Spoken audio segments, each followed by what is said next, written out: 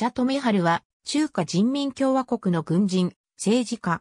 中国人民武装警察部隊、司令員県政治委員、公安部部長、国務院副総理等を歴任。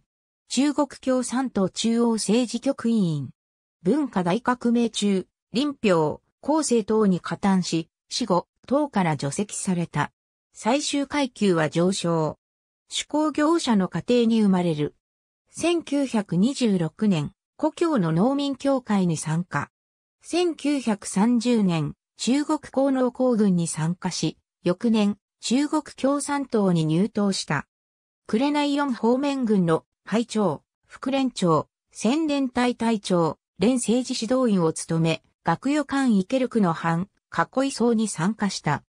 1932年10月から男性児どころ、主任、紅旧軍、第26市政治部主任、紅四方面軍総政治部組織部部長、中京戦戦勝委員会組織部部長を歴任し、戦線池ルの藩、三素寺囲い校と藩、六素寺囲い校に参加した。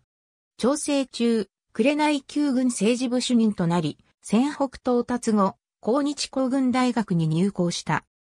日中戦争時は、八素寺軍第129市、第772弾政治所主任、政治委員、第385旅政治委員、大学軍区副司令員、重体政治委員として、大学区の対総統作戦を指導した。対日戦勝後、進むキロヨ軍区第4重体政治委員、大学兵団政治委員。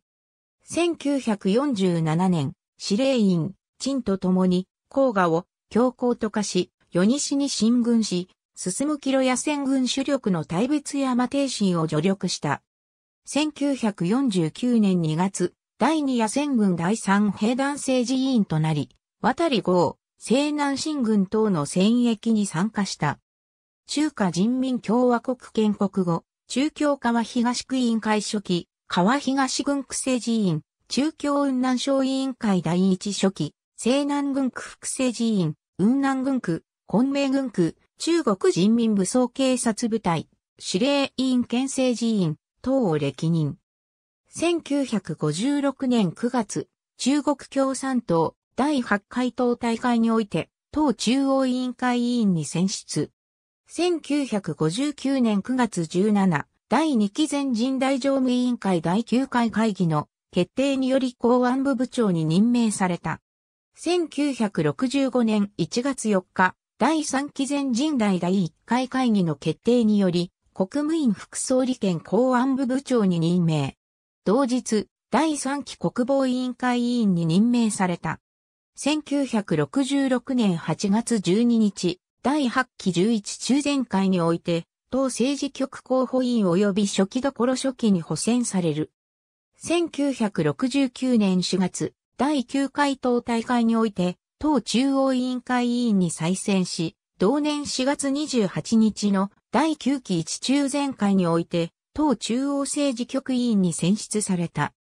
文化大革命中は、中京中央初期所初期、中国共産党中央軍事委員会委員、北京市委員会第一初期、北京軍区第一政治委員、中央線安心査証蘇生員を務め、林票、後世等の活動に参与し、劉少奇等の革命言論を迫害した。1972年3月26日、北京で病死。1980年10月16日、中京中央は、シ富春の党からの除籍を決定した。1981年1月23日、中華人民共和国最高人民法院特別法廷は、シ富春が林票、後世反革命集団事件の主犯であると確定した。